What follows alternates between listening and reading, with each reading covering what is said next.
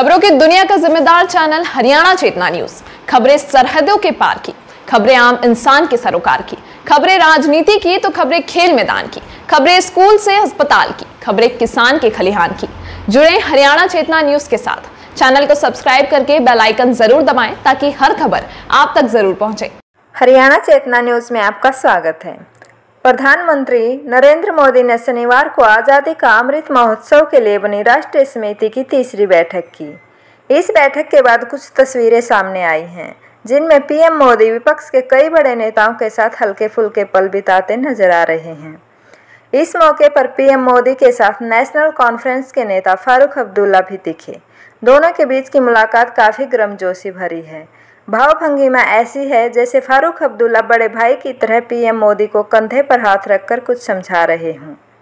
इस तस्वीर में अनुपम खेर और कलराज मिश्र भी खड़े नज़र आ रहे हैं।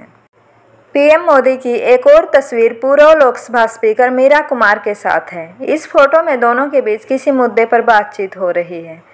तस्वीर में मीरा कुमार अपने चिर परिचित सौम्य मुस्कान में दिखाई दे रही हैं।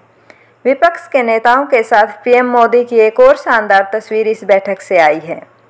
इस फ़ोटो में उनके साथ डीएम के सांसद तिरुचि शिवा हैं। साथ में सीताराम येचुरी और रामगोपाल यादव हैं तो वहीं मशहूर नृत्यांगना सोनल मानसिंह पास खड़ी हैं।